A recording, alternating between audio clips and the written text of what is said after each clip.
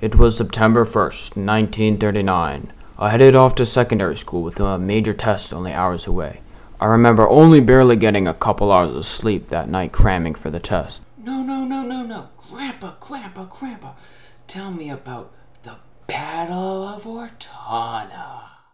Okay, son, this is the last story. Then you gotta go to bed, okay?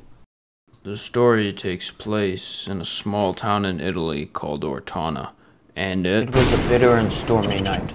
December 19th, 1943 to be exact. The streets were filled with rubble from all the houses that the Germans blew up. It was 2345, 15 minutes till midnight when we'd execute the initial attack on the town. We had just arrived a couple days prior in a landing craft just near the Moro River.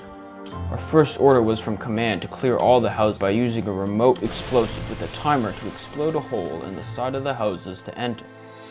This was called mouse holing. When clearing one of the houses, a Nazi soldier approached me. It was unfortunate, but it was either me or him. We kept clearing all the houses. It was the morning of December 20th, and we had just finished clearing all the buildings. We came across this Italian military camp five clicks west of where we started to infiltrate and round up resources such as weapons, MREs, and more. I hadn't eaten in days, and we had found tons of food including chicken, beef stew, and fish.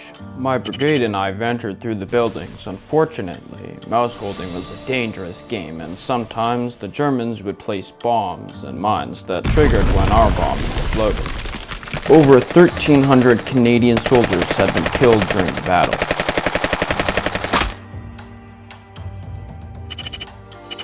Since it was Christmas, some of the other brigades decided to take a break and celebrate.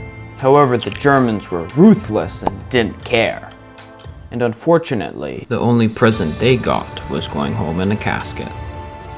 Slowly, over time, the German paratroopers started to slowly leave the area. After eight bloody days, the Battle of Ortona ended on December 28, 1943. Over a total of 2,300 Canadian casualties and over a total of 1,300 civilian deaths. One in every 10 civilians in the town of Ortona died.